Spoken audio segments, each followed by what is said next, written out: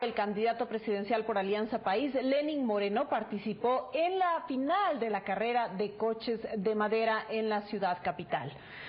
En el evento hizo un llamado para que los quiteños celebren las fiestas midiéndose en el consumo de alcohol.